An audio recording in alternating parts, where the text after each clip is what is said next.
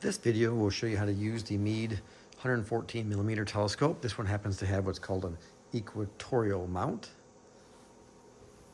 This mount has a counterweight down here on this bar. So I have it set now, but you can um, adjust this by sliding that counterweight up and down. What you want to do is get this so that when you loosen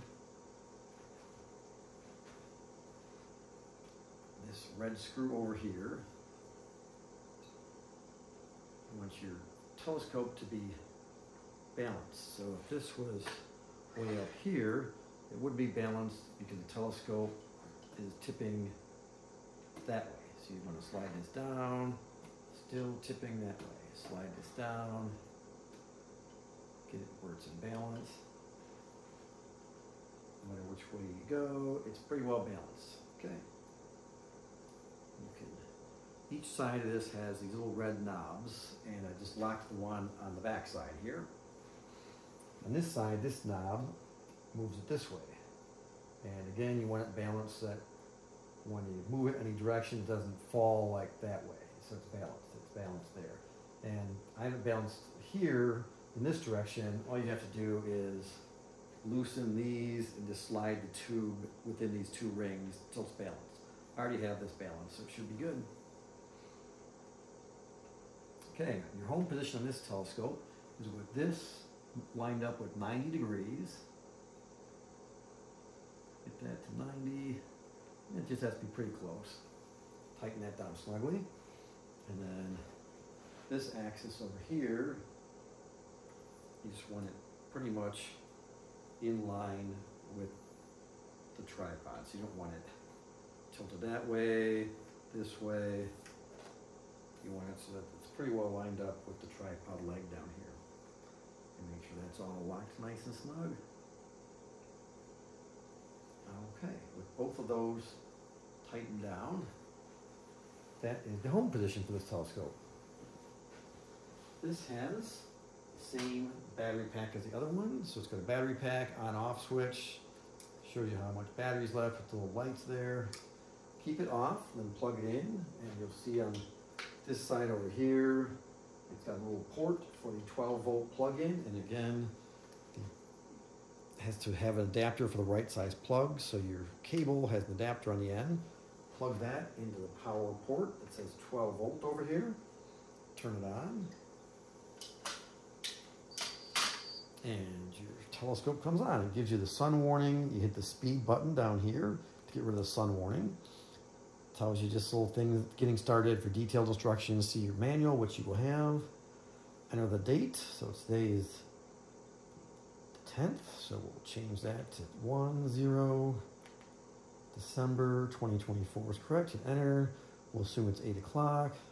Daylight saving time is no, because we're not in daylight saving times currently. And then you can pick your alignment. We're going to do a one star alignment. So you want to hit enter. Tells you to put it in the home position, which again is going to be, this is at 90, the telescope is lined up with the leg here, and then you have the whole thing pointing north. I'm just going to assume that for now we're pointing north pretty much at the north star up there. So once you have that all set up, pointed north, you hit enter, hit remove a little bit,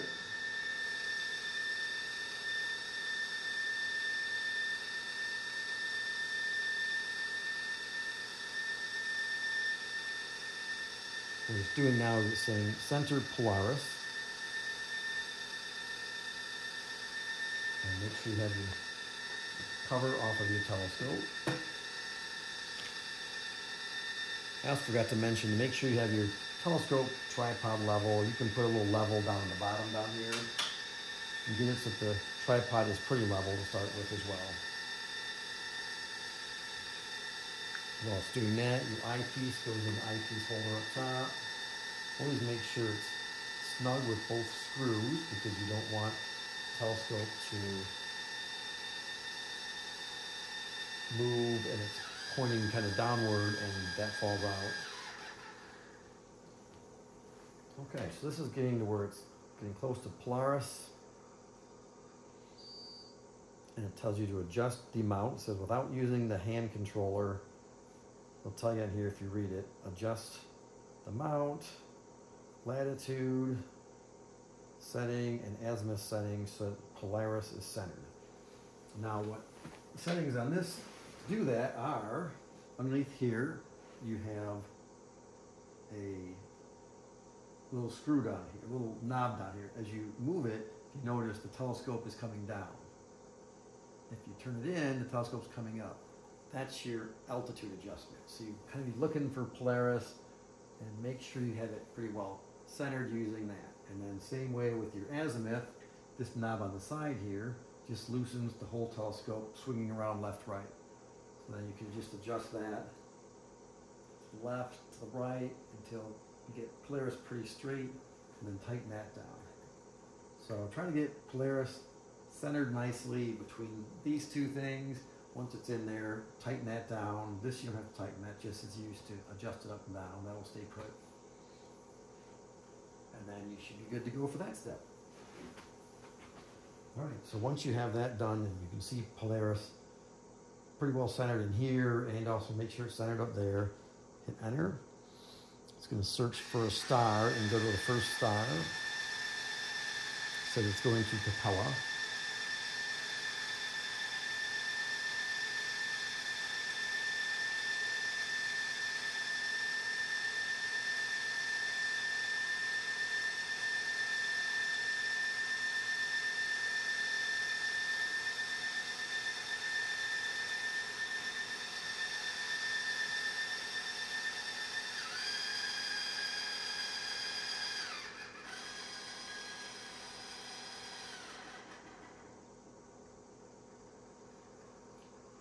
And it'll just make some fine little adjustments and then it'll say center Capella. So you look through here, you try to find, hopefully Capella is the brightest star in that area. Move this around to get it centered. If it was off quite a bit, you can change the speed down here. I like to go one past max. And you can just make some other adjustments. Left and right, up and down. Hit Capella center, hit enter. Then it'll say align successful. And now you can choose an object to go to, solar system, object, say enter. Solar system, uh, we'll go to Jupiter, hit enter. It'll calculate where it's at, you hit the go to button, and it will go to Jupiter.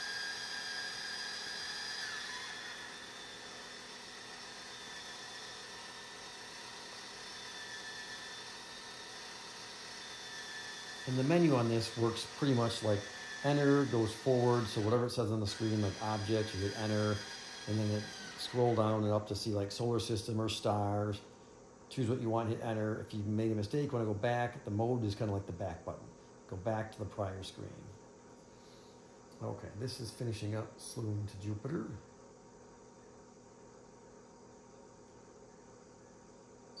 It beeps, it's all done. Again, if you needed to fine tune that, because Jupiter wasn't quite where it's supposed to be, it's off a little bit. Um, I use the mode button to speed it up a little bit. Again, I go to where it says max, and I go one past that for not quite max speed. You can move this around to make any adjustments to get Jupiter in the crosshairs, and then double check it's in the center here. Once you've got it all centered, you hit enter. Then you hold on the enter key for few seconds, maybe three, four seconds, let go. And it says enter to sync. And then it's synchronized. So now you've synchronized on Jupiter. You can hear the little chirping from the motors. The motors are now tracking and it'll keep Jupiter um, in the field of view of the eyepiece for quite a, quite a while, several minutes. If you want to see Jupiter closer up, you can use your Barlow lens, which is a two times Barlow, which magnifies it. You just take out the eyepiece Put the eyepiece in the Barlow, tighten the screw on the side. Put the Barlow all the way into the tube. And then you'll have to adjust focus with that in there, and you can adjust the focus. There also is a little knob up on top of the focuser that just adjusts um, how tight the focus knob is to turn. You could also turn it all the way and lock the focus knob. When you're done, all you have to do is turn off the telescope using the power button on the battery, shuts it down. If for some reason you want to move it to a different place, you can just release these red knobs and put it back kind of in the home position for storage if you want.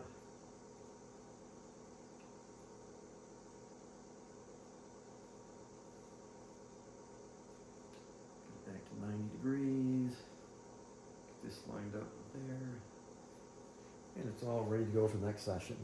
When you do need to charge your battery, unplug it.